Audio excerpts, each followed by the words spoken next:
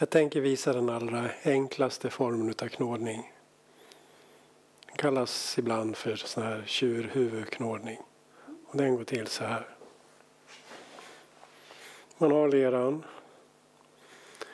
Man gungar fram. Trycker lite grann, håller om sidorna. Jakt på hur de här delarna av händerna närmar sig varandra.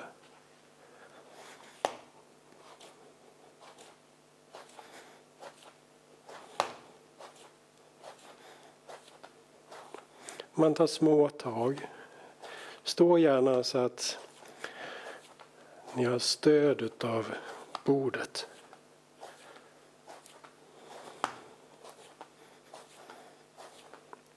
Och låt leran gå runt på det här viset. Om det är så att den sväller ut för mycket åt sidorna här då beror det på att ni inte har hållit om så mycket på sidorna.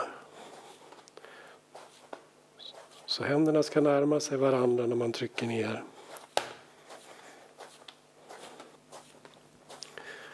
Ja, 50 tryck så här är väl lagom kanske. Och på slutet så får den liksom hänga kvar på, på fingrarna där.